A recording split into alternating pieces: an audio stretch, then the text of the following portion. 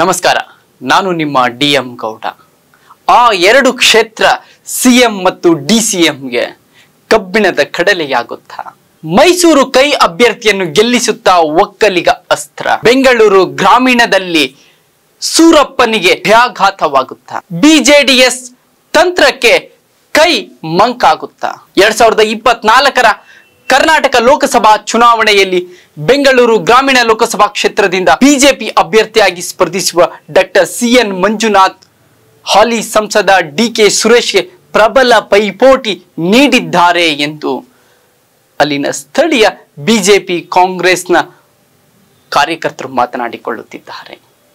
ಮುಖ್ಯಮಂತ್ರಿಗಳ ಕರ್ಮ ಭೂಮಿ ಮೈಸೂರು ಲೋಕಸಭಾ ಕ್ಷೇತ್ರದ ಕಾಂಗ್ರೆಸ್ ಅಭ್ಯರ್ಥಿ ಎಂ ಲಕ್ಷ್ಮಣ್ಗೆ ಪ್ರಬಲ ಪೈಪೋಟಿಯಾಗಿ ಮೈಸೂರು ರಾಜವಂಶಸ್ಥ ಯದುವೀರ ಶ್ರೀಕಂಠ ದತ್ತ ನರಸಿಂಹರಾಜ ಒಡೆಯರ್ ಅವರ ಸ್ಪರ್ಧೆ ಮುಖ್ಯಮಂತ್ರಿ ಸಿದ್ದರಾಮಯ್ಯನವರಿಗೆ ಸಣ್ಣ ಆತಂಕವಂತನ್ನು ಸೃಷ್ಟಿಸಿದೆ.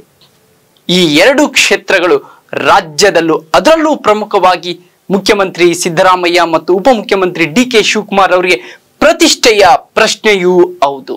ಮುಖ್ಯಮಂತ್ರಿಗಳು ತವರು ಜಿಲ್ಲೆ ಮೈಸೂರು ಲೋಕಸಭಾ ಕ್ಷೇತ್ರವನ್ನು ಗೆದ್ದು ತಮ್ಮ ತಾಕತ್ತನ್ನು ದೆಹಲಿ ಹೈಕಮಾಂಡ್ಗೆ ಮತ್ತು ರಾಜ್ಯದ ಜನರಿಗೆ ನಿರೂಪಿಸುವ ಒತ್ತಡಕ್ಕೆ ಮುಖ್ಯಮಂತ್ರಿ ಸಿದ್ದರಾಮಯ್ಯನವರು ಬಂದು ನಿಂತಿದ್ದಾರೆ. ಎರಡ್ ಸಾವಿರದ ಒಂಬತ್ತರ ಲೋಕಸಭಾ ಚುನಾವಣೆಯಲ್ಲಿ ಗೆದ್ದಿದ್ದು ಬಿಟ್ಟರೆ ಎರಡ್ ಸಾವಿರದ ಹದಿನಾಲ್ಕು, ಎರಡ್ ಸಾವಿರದ ಹತ್ತೊಂಬತ್ತರಲ್ಲಿ ಬಿಜೆಪಿಯ ಪ್ರತಾಪ್ ಸಿಂಹ ಮೈಸೂರು ಕೊಡಗು ಲೋಕಸಭಾ ಕ್ಷೇತ್ರವನ್ನು ಪ್ರತಿನಿಧಿಸಿದ್ದರು. ಎರಡ್ ಸಾವಿರದ ಇಪ್ಪತ್ನಾಲ್ಕರಲ್ಲಿ ಸಾವಿರದ ಒಂಬೈನೂರ ಎಪ್ಪತ್ತೇಳರ ನಂತರ ಒಕ್ಕಲಿಗ ಸಮುದಾಯದ ಎಂ ಲಕ್ಷ್ಮಣ್ಗೆ ಟಿಕೆಟ್ ನೀಡುವ ಮೂಲಕ ಕಾಂಗ್ರೆಸ್ ಒಕ್ಕಲಿಗ ಅಸ್ಮಿತೆಯ ಅಸ್ತ್ರ ಬಿಜೆಪಿಯ ವಿರುದ್ಧ ಬಳಸಿತ್ತು.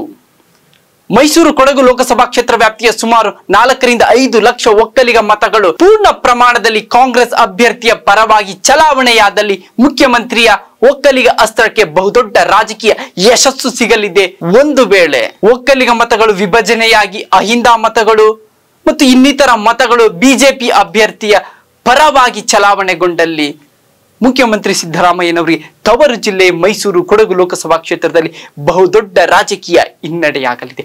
ಈ ಹಿನ್ನಡೆಯನ್ನು ಯಾವ ರೀತಿಯಲ್ಲಿ ಮೆಟ್ಟು ನಿಲ್ಲುತ್ತಾರೆ ಕಾದು ನೋಡಬೇಕಿದೆ.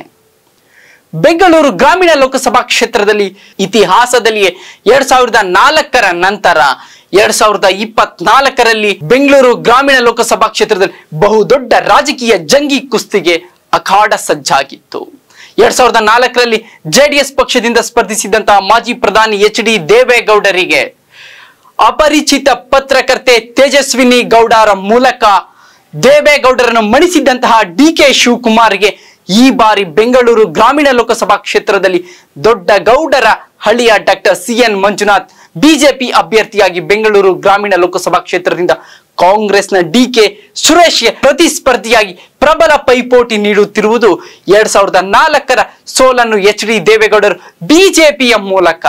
ಎರಡ್ ಸಾವಿರದ ಇಪ್ಪತ್ನಾಲ್ಕರಲ್ಲಿ ತೀರಿಸಿಕೊಳ್ಳಲಿದ್ದಾರೆ ಎನ್ನುವ ಚರ್ಚೆಯ ನಡುವೆ ಉಪಮುಖ್ಯಮಂತ್ರಿ ಡಿ ಕೆ ಶಿವಕುಮಾರ್ಗೂ ಕೂಡ ಹಳೆ ಮೈಸೂರು ಭಾಗದ ಒಕ್ಕಲಿಗ ಆರ್ಟ್ಲ್ಯಾಂಡ್ ಅಲ್ಲಿ ಒಕ್ಕಲಿಗ ಸಮುದಾಯದ ಪ್ರಶ್ನಾತೀತ ನಾಯಕನಾಗಿ ಹೊರಹೊಮ್ಮುವ ಅವಕಾಶಗಳಿದ್ದರೆ ಈ ಭಾಗದ ಬಹುತೇಕ ಕಾಂಗ್ರೆಸ್ ಅಭ್ಯರ್ಥಿಗಳು ಗೆಲುವಿನ ನಗೆ ಬೀರಬೇಕಾಗುತ್ತೆ.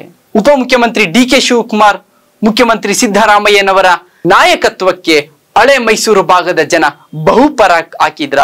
ಬಿಜೆಪಿ ಮತ್ತು ಜೆಡಿಎಸ್ನ ರಣತಂತ್ರಕ್ಕೆ ಮುಖ್ಯಮಂತ್ರಿ ಉಪಮುಖ್ಯಮಂತ್ರಿಗಳು ಸುಸ್ತಾದ್ರ ಅನ್ನುವುದನ್ನು ಜೂನ್ ನಾಲ್ಕರ ಮತಪೆಟ್ಟಿಗೆಯನ್ನು ಒಡೆದಾಗ ರಾಜ್ಯದ ಜನರಿಗೆ ಈ ಎರಡು ಲೋಕಸಭಾ ಕ್ಷೇತ್ರಗಳ ಚಿತ್ರಣ ಸ್ಪಷ್ಟವಾಗಲಿದೆ.